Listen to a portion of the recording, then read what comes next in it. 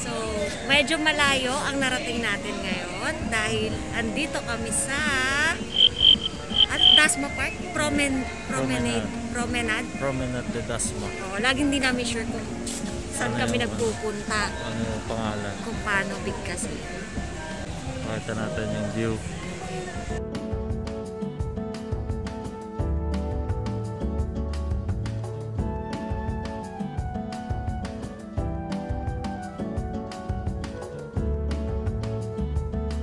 Ito na yung ano pinakamalayong napuntahan namin sa lahat ng travels na nagawa.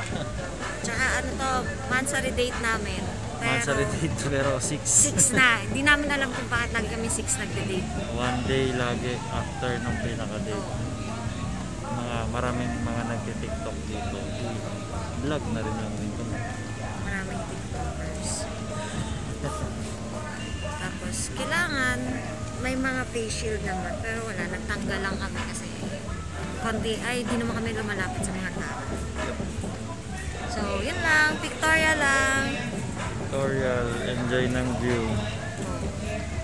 Baka gabihin kami, kaya bibilisan na namin. malayo pa yung biyahe namin. eh.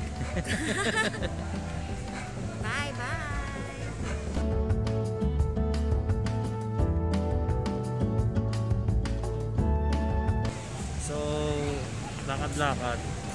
Konting lakad. Sarado ang park pag Mondays. Open ng 6 to 10 Oo, a.m. Tapos 4 to 9 p.m. Tapos required yung face shield, face mask. Tapos ayan namin yung park ranger makababa. Tapos ah, Monday, ah, Tuesday to Tuesday to Sunday. Monday kasi yung Monday yung disinfection. Ah, karamihan ng mga lugar dito sa Cavite mag ah, ano sila na sa Monday for disinfection. Oo, parang kahit sa Tagaytay,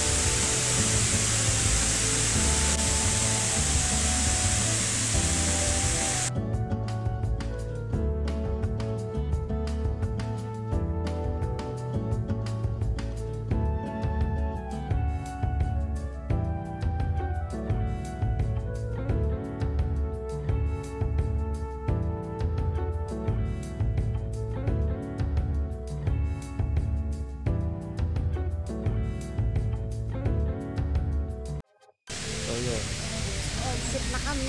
palabas na Sobrang mabilis lang talaga.